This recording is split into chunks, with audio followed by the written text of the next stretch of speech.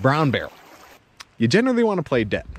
If it's with cubs, you'll get the fuck out of there. All right? Don't don't bother running, it'll catch you. Climbing doesn't fucking work either. Just slowly back that thing up and bow out.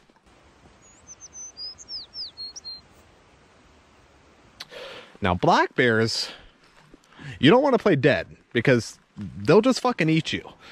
But the good news is they're total pussies. You just got to make yourself big and loud, you know, arms waving, jumping up and down, screaming. Out crazy the crazies. Works every time.